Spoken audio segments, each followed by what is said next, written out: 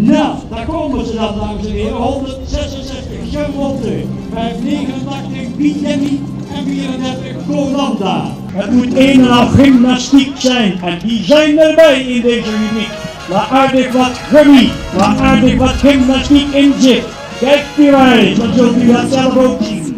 In Lierop werd maandag voor de 71ste keer de Paardenfokdag gehouden. Het evenement is ontstaan uit de Lieropse kermis, die tegelijkertijd plaatsvindt. Op de Paardenfokdag worden veel verschillende paardenrassen gekeurd, van klein tot groot. Daarnaast zijn er wedstrijden voor springruiters en dressuurpaarden. Van 9 tot 6 waren paarden in alle soorten en maten op vrijwel alle disciplines te bewonderen.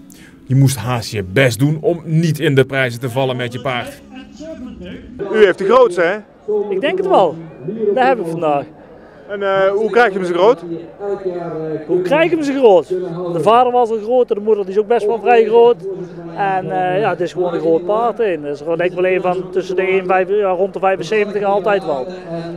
En u uh, weet dat natuurlijk als kenners, dames en heren. Het gaat niet om de snelheid, maar het gaat om de balans, het afmaken van de passen. Daar moeten die paarden de gelegenheid voor krijgen, zowel voor als achter.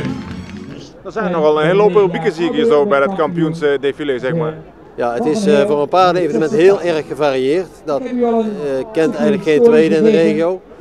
Want we hebben rassen van heel klein tot uh, het allergrootste, van de kleine Shetlander tot het grote trekpaard. Die keuren we aan de hand. En daarnaast hebben we nog allerlei gebruiksrubrieken waarbij paarden op verschillende manieren in de koets gebruikt worden.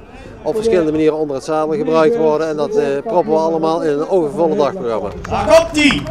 De nieuwe kampioenen, dames en heren, van de voorklasse 2011. Charlotte.